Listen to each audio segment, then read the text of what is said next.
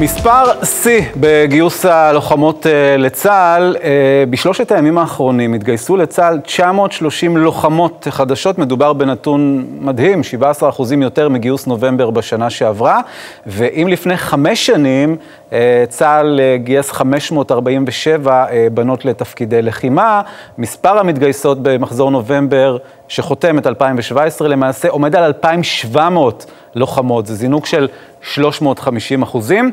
אבל מי שלא מברך ואפילו יצא במבצע הסברה נגד גיוס אה, לוחמות אה, אה, או נשים לתפקידי לוחמות בצה"ל, זה הניסוח המדויק, מאנשי ארגון אחים לנשק, בהם רב סרן במילואים חיים טייטלבאום, שלום לך. שלום וברכה, ערב טוב אמיר. ערב טוב, חיים, אז מה יש לכם נגד שירות בנות לוחמות בצה"ל? תסביר לנו. קודם כל, אני חושב שצריך להדגיש שאין לנו שום דבר נגד הבנות עצמן, mm-hmm. הן ראויות להערכה רבה, שהן מוסרות את מיטב שנותיהן למען מדינת ישראל. אנחנו ארגון של כמה עשרות של אה, קצינים במילואים, מ"פים, מג"דים, גם תתי-אלופים, גם אלופים, שחושב אה, שצריך להתנהל דיון פנימי mm-hmm. בתוך צה"ל. האם העובדה שבונים יחידות שהכשירות המבצעית שלהם היא פחותה ממה שנדרש מיחידות אחרות, האם זה טוב לצה"ל, האם זה מחזק את צה"ל או מחליש את צה"ל? לצה"ל יש תפקיד אחד בלבד. רגע, תן לי להבין, העובדה שנמצאות בנות ביחידה מסוימת, אתה אומר, הופך את הכשירות המבצעית של היחידה הזאת לפחותה יותר, ללא טובה? לא אני אומר את זה, זה נתונים של צה"ל, הוצגו בוועדת חוץ וביטחון לפני כחצי שנה, פחות מחסניות, לא צריך לעבור את הקיר, לא צריך לטפס על החבל. לפני uh, כשבועיים uh, שמענו שגם בוחן המסלול בוטל, אין מאגים, אין כלים כבדים, כל הנתונים הללו הופכים את היחידות האלה ליחידות uh, שמסוגלות לפחות, זה לא אני אומר, זה דובר צה"ל גם אומר. כן. דובר צה"ל אומר, אני שם אותם uh, בגבולות. אנחנו לא שמענו מעולם שבגבולות יש פחות מלחמות, שבגבולות צריך כשירות uh, פחות רצינית.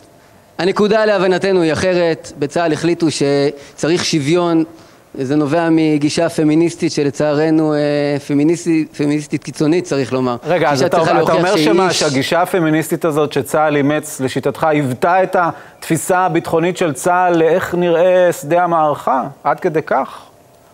אני טוען שהאם ערך השוויון גובר על ערך הניצחון זה דיון שצריך להתקיים בציבור.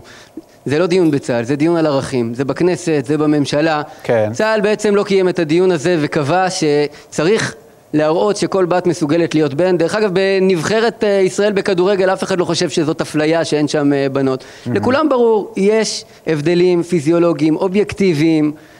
אלה נתונים גופניים, שונים בין גבר לאישה, יש דברים שנשים עושות הרבה יותר טוב מגברים, יש דברים פיזיולוגיים שגברים, הגוף שלהם הוא חזק יותר, כן. הם מסוגלים לסחוב יותר, הם מסוגלים ללכת יותר קילומטרים, אנחנו חושבים שאין שום הצדקה להחלשה של היחידות כדי uh, לאמץ את uh, ערך השוויון. אז יבואו ויאמרו לך בצה"ל, עשינו תהליך ארוך, פתחנו את התפקידים האלה לנשים באופן מדורג ולא בבת אחת. אנחנו באמת מדברים על תהליך שנמשך כמה שנים, וצריך לזכור שגם שדה המערכה השתנה. זה לא אותן גבעות שכובשים אותן עכשיו בהסתערות של uh, גדודים של בנים וחטיבות הסתערו קדימה. נכון, לגבי הטענה הראשונה שלך, כן. אתה... כן.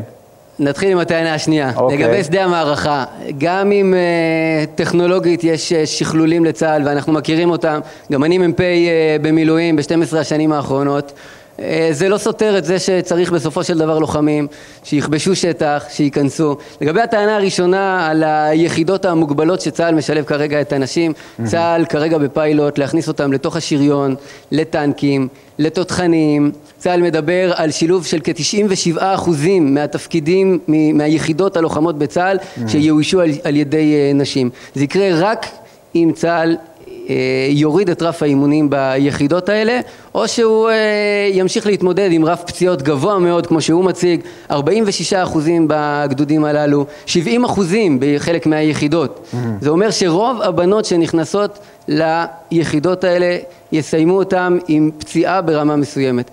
הבנות צריכות להכיר את זה. Okay. אוקיי. הבנות צריכות לדעת את הנתונים האלה ולהחליט איפה הן משרתות את מדינת ישראל בצורה המיטבית okay. אוקיי. ביותר.